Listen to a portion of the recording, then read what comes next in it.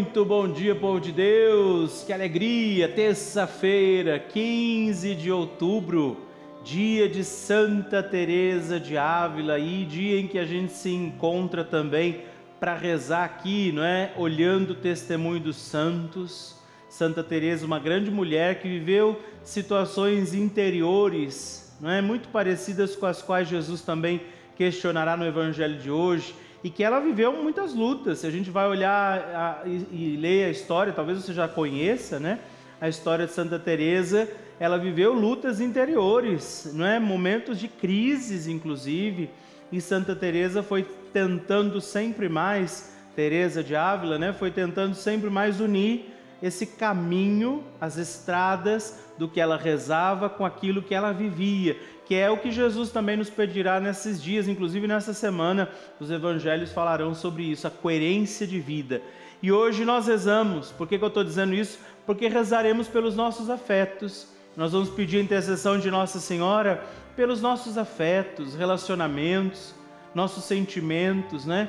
É muito importante buscar esta coerência de vida em tudo aquilo que a gente reza com aquilo que a gente sente, com o modo com o qual eu conduzo os meus relacionamentos, meus afetos. Então, que a gente possa pedir a intercessão de Nossa Senhora também neste dia. Por isso, Maria, Mãe querida, passa à frente dos meus afetos, para que eu tenha afetos, sentimentos, relacionamentos sadios que Nossa Senhora interceda por você hoje. Lembrando que você pode também entrar em contato conosco, deixar o seu pedido de oração, mandar sua mensagem para nós. 0 operadora 11 4200 8080 é o número para você ligar para a gente aqui. Tem um pessoal lá em cima te esperando no nosso telemarketing para atender você com carinho. Manda uma mensagem no nosso WhatsApp 11 9 13 00 9207 é para você escrever sua mensagem, mandar o seu pedido de oração, dizer: Ó, oh, eu quero que vocês rezem por isso, eu estou tendo dificuldade nesse meu relacionamento aqui. Põe o nome seu da pessoa e a gente vai apresentando a Nossa Senhora com muita alegria, com muito carinho, muita gratidão.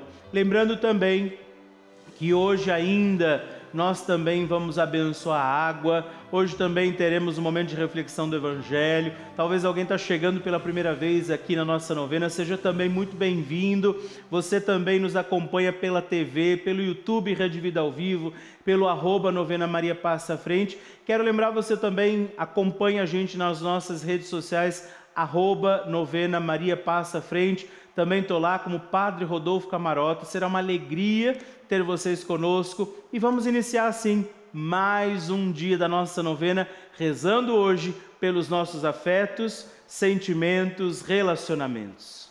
Estamos ao vivo também nesta manhã aqui, porque temos ajuda, olha, destes nossos benfeitores, amigos e amigas, que eu quero apresentar no início da nossa novena estas listas Hoje, graças a Deus, temos mais listas para mostrar. Isso significa que o nosso povo está respondendo, isso significa que nós estamos aqui unidos na oração e eu quero rezar, apresentar estes nossos benfeitores aqui junto de Nossa Senhora. Lembrando que o meu nome já apareceu também aqui e não é? Vai aparecer também neste mês, porque eu também sou benfeitor da novena. Estou todos os dias aqui e tenho também colaborado para que a nossa novena aconteça. E eu quero agradecer a cada pessoa dessas listas, cada nome destes aqui, dessas irmãs, irmãos, tantas partes. Olha só que bonito, cidades, estados. Estamos com o Brasil inteiro unido aqui na oração conosco. E eu quero louvar e bendizer a Deus pelo nome dessas pessoas, porque nos ajudam a prosseguir, a continuar. Que Deus abençoe vocês que Deus abençoe a vida de cada um de vocês. E eu vou pôr essas listas aqui, as primeiras listas deste dia, aqui na nossa pasta oficial, para que a gente possa rezar também por estes irmãos e irmãs. E eu trago todos vocês aqui com um sentimento profundo de gratidão, de carinho, deixando sempre vocês aqui com a Virgem Maria, sob a intercessão de Nossa Senhora. E os pedidos de oração que chegam também vamos invocar o Espírito Santo sobre nós, nossos afetos, sentimentos, nossos relacionamentos, porque também hoje nos encontramos aqui, em nome do Pai, e do Filho e do Espírito Santo. Amém. Vinde, Espírito Santo, enchei os corações dos vossos fiéis e acendei neles o fogo do vosso amor. Enviai o vosso Espírito e tudo será criado, e renovareis a face da terra.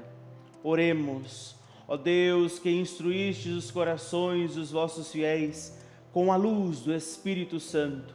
Fazei que apreciemos retamente todas as coisas, segundo o mesmo Espírito, e gozemos sempre de Sua consolação.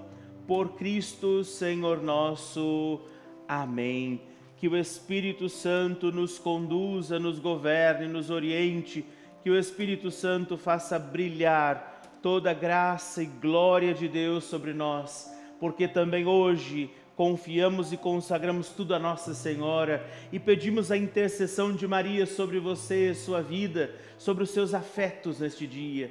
Dentro do caminho do ciclo novenário, é importante rezarmos também pelos afetos, sentimentos, relacionamentos.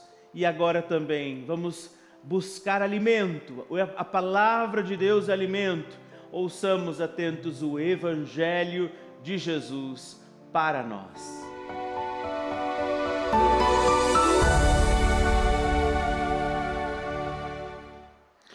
O evangelho de hoje, trazido para nós pela igreja, está em São Lucas, capítulo 11, versículos de 37 a 41. O Senhor esteja convosco, Ele está no meio de nós. Proclamação do evangelho de nosso Senhor Jesus Cristo, segundo São Lucas. Glória a vós, Senhor. Enquanto Jesus falava, pediu-lhe um fariseu que fosse jantar em sua companhia.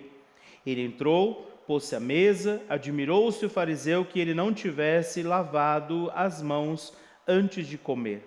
Disse-lhe o Senhor: Vós, fariseus, limpais o que está fora do vaso e do prato, mas o vosso interior está cheio de roubo e maldade. Insensatos! Quem fez o exterior não fez também o, o interior? Dai antes em esmola o que possuís, e todas as coisas vos serão limpas. Palavra da salvação, glória a vós, Senhor. Queridos irmãos e irmãs, hoje, como dissemos também no início, dia de Santa Teresa de Ávila, que viveu uma experiência de conversão, né? Uma experiência de entrega, de reconhecimento, de dificuldade no seu caminho, e olhando a vida de Santa Teresa, não é, nós vemos também uma experiência muito concreta de Deus agindo justamente de dentro para fora, que é o que Jesus critica dos fariseus. Os fariseus eram conhecedores da lei e por isso um deles chama Jesus para comer na sua casa, fica esperando que Jesus faça os rituais ali. E lembremos também, não é uma questão de falta de higiene de Jesus, mas ele justamente não fez o ritual de lavar as mãos, os pés ao chegar da rua, justamente porque entendia que o fariseu ia questionar isso. E Jesus queria deixar ali uma importante mensagem, porque eles cumpriam todos os rituais, não é, inclusive exteriores, mas isso não promovia neles uma conversão interior. E é o grande questionamento de Jesus.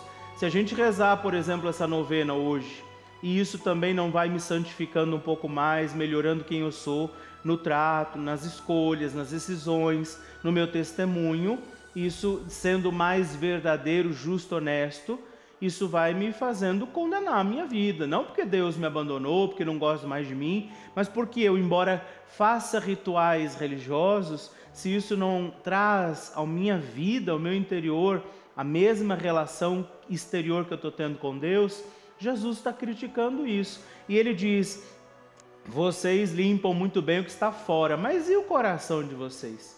Que está cheio de maldade, de incoerência, de insensatez. Jesus chama eles de insensatos, né? E ele diz: o mesmo Deus que vocês estão reverenciando ao lavar as mãos, purificando as mãos para tocar no alimento, não é? Porque era mais muito um ritual, não era só uma questão de tirar a sujeira da mão, era um ritual de purificação ele diz: esse que purifica o exterior não deveria purificar também o interior? E ele diz: insensatos. Hoje isso tem que servir para nós também. Nós que estamos celebrando esta novena, Temos rezado cada dia dessa novena também para nos santificarmos mais, melhorarmos como pessoa, como cristão, como cidadão, como filho, filha de Deus. Cada dia nos parecemos mais com Jesus, nosso Senhor.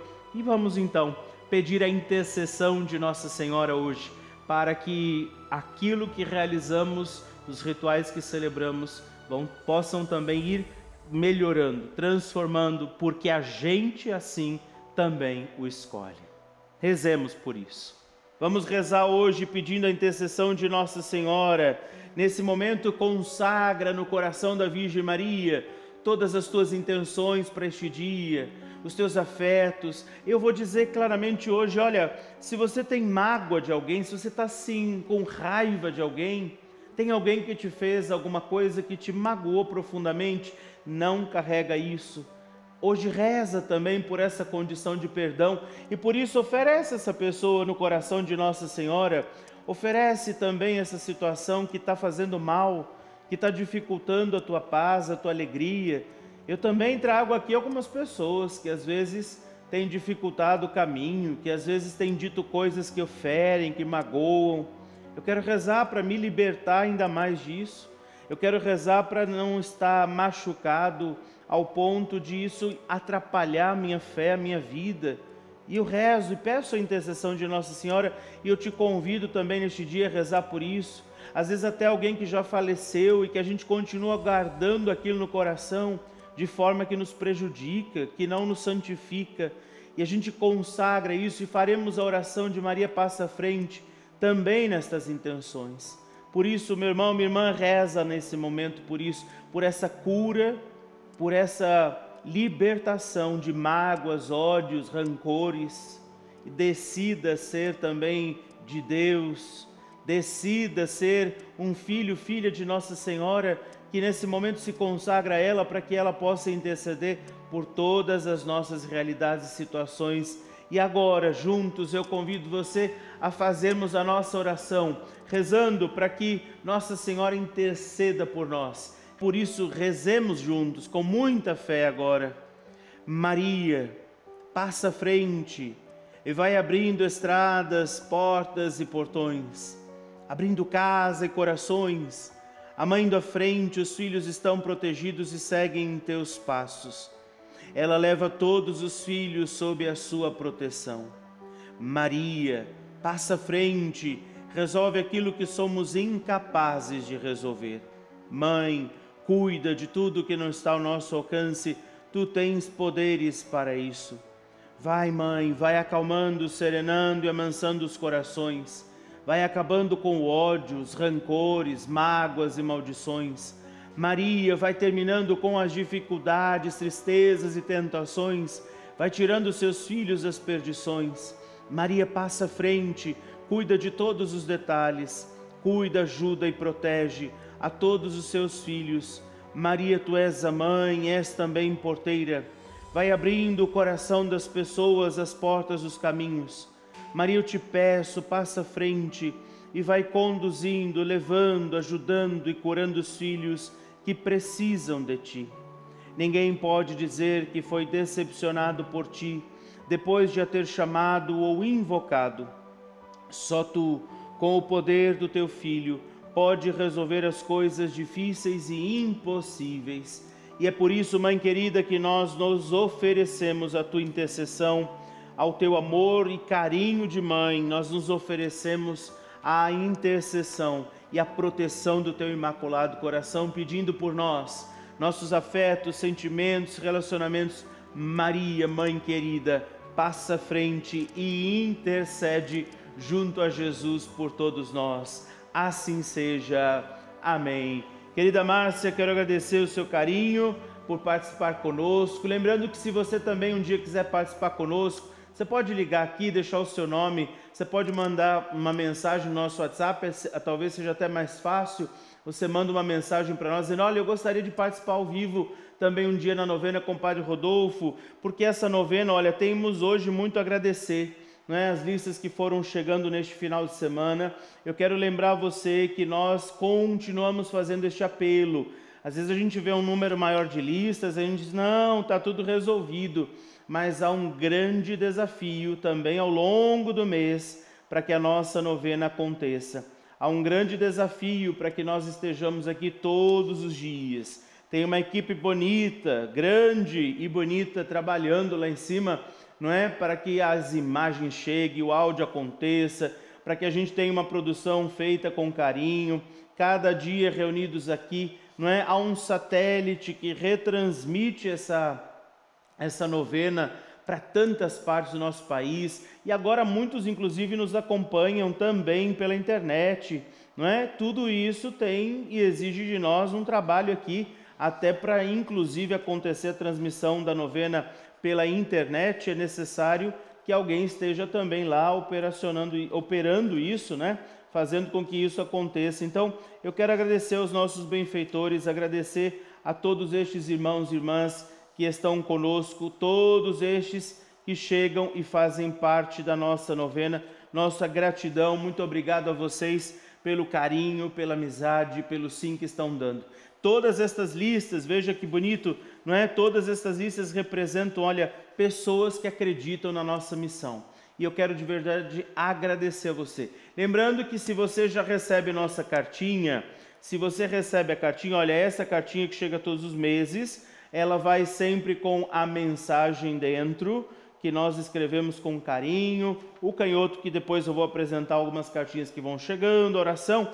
Aqui habitualmente estaria um código de barras para você fazer sua doação e também o código para o Pix. Se o seu boleto não tem chegado assim, por algum motivo, ontem eu descobri também que algumas pessoas não têm recebido assim. Você pode entrar em contato conosco e pedir, olha, eu quero que junto com a minha cartinha venha também o código de barras para eu fazer diretamente por ali, não é a minha doação, a minha ajuda. Se você também quiser fazer pelo seu cartão de crédito, pelo débito em conta, também é possível. Você também vai receber em casa a sua cartinha e por isso a gente pode é, também fazer chegar essa carta até você, mas para isso eu preciso que você entre em contato pelo 0 operadora 11 4200 8080 ou pelo nosso WhatsApp 0 operadora 11 91300 9207 para que a gente possa continuar estabelecendo com você essa nossa ligação aqui, essa nossa união, essa sua participação na nossa novena.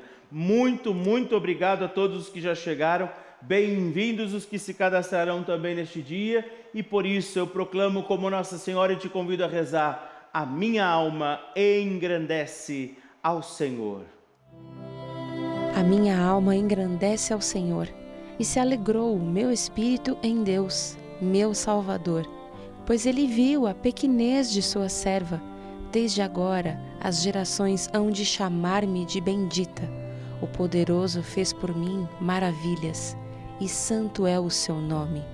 Seu amor, de geração em geração, chega a todos que o respeitam. Demonstrou o poder de seu braço, dispersou os orgulhosos, derrubou os poderosos de seus tronos e os humildes exaltou. De bens saciou os famintos e despediu sem nada os ricos. Acolheu Israel, seu servidor, fiel ao seu amor como havia prometido aos nossos pais, em favor de Abraão e de seus filhos, para sempre. Glória ao Pai, ao Filho e ao Espírito Santo, como era no princípio, agora e sempre. Amém. E é uma alegria receber as cartinhas de vocês. Olha, Sebastiana da Aparecida, de Três Corações, Minas Gerais, Cecília Aracaque Oshiro, de Campo Grande, também Odina dos Santos Hirsch, acho que é assim que fala, me desculpe se eu estiver dizendo errado, Santa Rosa, no Rio Grande do Sul, não é? Também a Raimunda Maria da Silva, de São Paulo, capital, essas cartinhas. Quero rezar por vocês, quero pedir por todas essas intenções, pelos nossos afetos, sentimentos, relacionamentos.